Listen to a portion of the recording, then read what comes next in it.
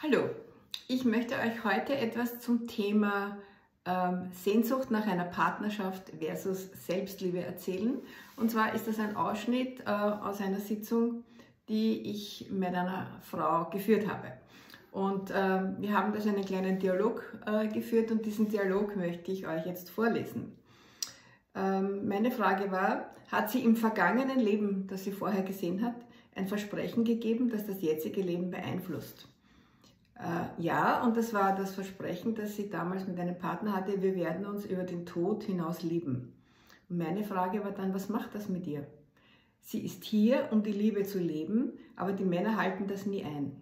Frage, was ist die Lösung? Wie geht sie am besten damit um? Und die Antwort war, sich nicht so zu versteifen. Meine nächste Frage war, wenn sie in das Leben kommt mit der Absicht, dass die Beziehung zwischen zwei Partnern der Lebensmittelpunkt ist und dass es sonst nichts anderes gibt, was passiert dann? Wenn das nicht funktioniert in diesem Leben, dann ist das ganze Leben nichts. Hm. Dann war meine Frage, was stimmt denn? Wie kann man das relativieren? Die Antwort war, dass man vieles lieben kann. Was kann man denn alles lieben? Die Natur, die Mitmenschen, Kinder.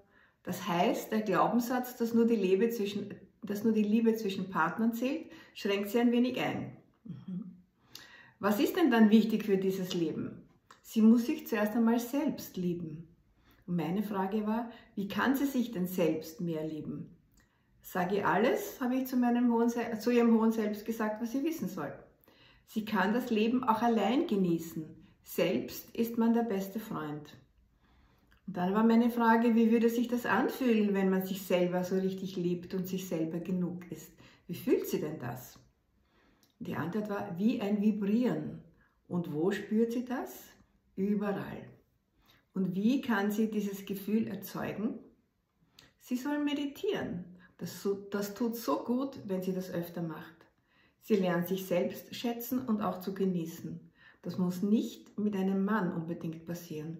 Das kann sie auch selbst haben. Das heißt, ähm, wenn man sich nach einer Partnerschaft sehnt, äh, und große Erwartungen an einen Liebespartner hat, dann ist es empfehlenswert, dass man zuerst einmal sich selbst lernt zu lieben und sich selbst lernt zu schätzen und äh, sich eine schöne Zeit macht, ähm, meditiert und diese Liebe im ganzen Körper fühlt. Denn wenn man Selbstliebe ausstrahlt, dann äh, zieht man automatisch äh, einen Partner an, der zu einem passt, der sich also auch selbst liebt und die Beziehung ist dann sozusagen eine Ergänzung. Aber man braucht den anderen nicht, sondern es ist einfach nur schön, wenn sich der dann zeigt. Aber man ist sich selber genug. Und ich denke, das ist das Wichtigste.